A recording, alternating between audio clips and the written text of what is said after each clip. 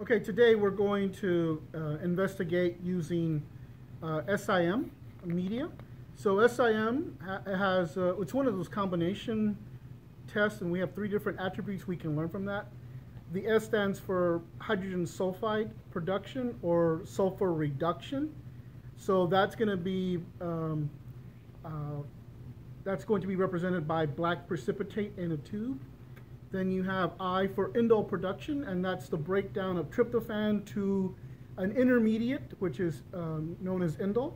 And then you have motility, right? And so I'm using three different organisms. We've got Klebsiella pneumoniae, we've got Escherichia coli, and we've got Salmonella typhimurium, also known as Salmonella choleraesuis. So if you look at these things, right away you can appreciate two different things. Number one, you can appreciate that this tube is positive for hydrogen sulfide production, okay? This tube is positive for motility. This one is negative for motility. And to tell you the truth, when you have this black uh, precipitate that takes over the entire tube, you cannot really tell whether or not the organism is motile or non-motile. So in this case, if we were in a laboratory of clinical importance, you would have to do a little more testing to figure out whether or not it was motile or not. Because as hydrogen sulfide reacts with the iron, it diffuses throughout the entire medium and it turns the entire medium black. For our cases, we're going to call this hydrogen sulfide positive, motility positive, because I know salmonella is motile. Okay? So we can tell that this is non-motile, non-hydrogen sulfide production, producing. This is motile non-hydrogen sulfide producing, and this is motile and hydrogen sulfide producing.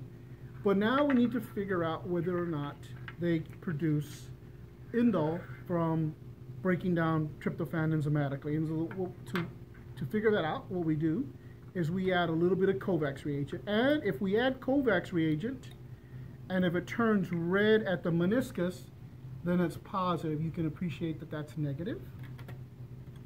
Again, adding Kovacs here.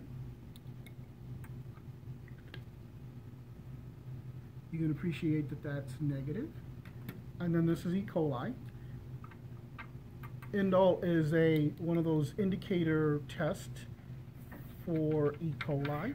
And so here you can see that it produces a nice red lake at the meniscus, right?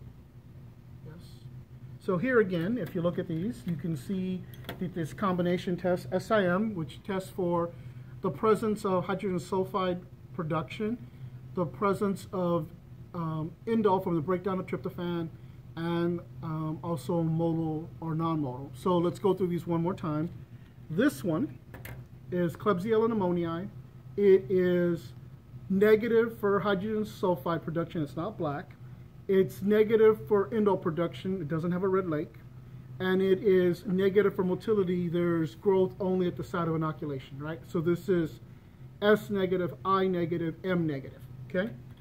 Here is E. coli, and so with E. coli, it's negative for hydrogen sulfide production, no black precipitate. It's positive for indole production, and it's positive for motility. So E. coli is S negative, I positive, M positive.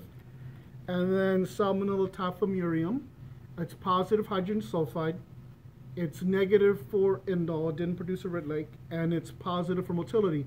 So it is S positive, I negative, M positive. Okay? Thank you.